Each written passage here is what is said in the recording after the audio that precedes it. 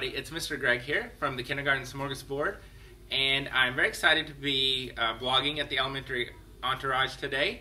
And this month we're blogging and writing about why we're lucky to be teachers. And so I wanted to, to share a video with you and um, just kind of tell you why I'm lucky to be a kindergarten teacher. First of all, I love, love, love kindergarten. Kindergarten, they come in and they're just, they're these little sponges and they soak up everything we talk about, everything we do, literally everything. So if you say something you don't want them to remember, you're in big trouble because they're going to remember it. I love that, that they have this excitement and this enthusiasm that it really is unmatched and unrivaled anywhere else. My kids get in trouble every morning because they're running down the hallway trying to get to class because they're so excited and they're so enthusiastic about learning. I love kindergarten because they're brutally honest. They're going to tell you if they like your hair, if they don't like your hair, if they like your clothes, if they don't like your clothes, if you stink, if you smell good.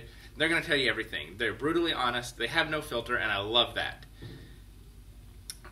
But what I'm what I what I'm most lucky, and what what makes me feel like the luckiest teacher in the world, is that every day I have the pleasure and the honor and the blessing of coming to a job and it's not really a job because I love it and I would do it even if I didn't get paid. But I get to come into my classroom every day and I have 18 little humans that rely on me that show up every day with a smile on their face and they're happy and they're excited and they have a desire to gain knowledge and they have this passion to learn.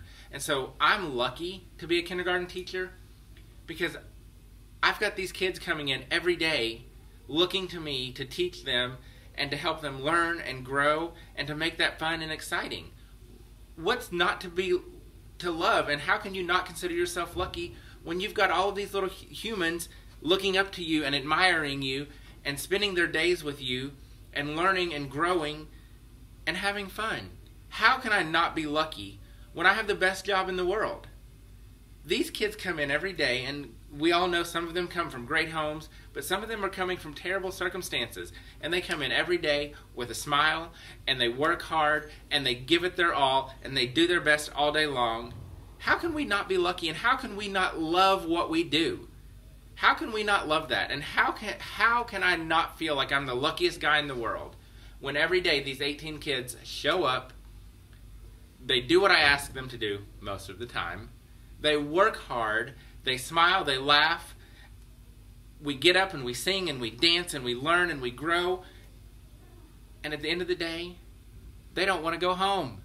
When I say it's time to clean up to go home, I hear, Oh, we want to stay with you. People, how can we not feel lucky? How in the world can we not be excited and just love what we do when every day we get to spend our day with, with little humans that don't want to leave us?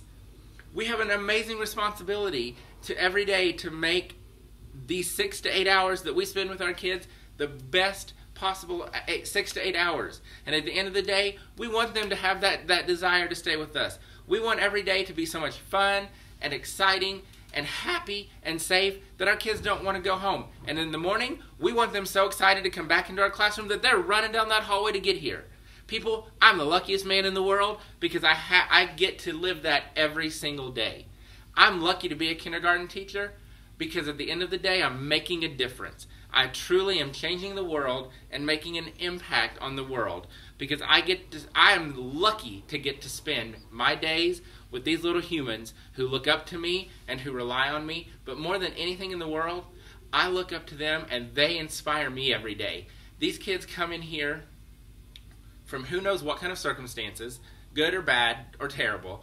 They show up, they laugh, they giggle, we talk, we bond, and they overcome. And every day we leave here successful and happy, knowing that, that we've learned and we've, we've loved and we've danced and we've had a blast. So, how in the world can I not feel like the luckiest person in the world? And how in the world can my kids not inspire me? So, I am lucky to be a kindergarten teacher because I'm surrounded by 18 humans, little bitty humans, who love school, who love learning, and who have an unbridled enthusiasm that as teachers we need to, to tap into that enthusiasm and we need to make every day the best possible experience we can for our kids. I'm lucky that I get to do a job that I love and that I'm passionate about, and I'm lucky that I get to do it with my 18 little mustaches who every day go above and beyond what is expected of them, and in every day they wow me with what they're able to do and the things they say and the love that they show for each other and the love that they have for learning. That's why I'm lucky to be a kindergarten teacher.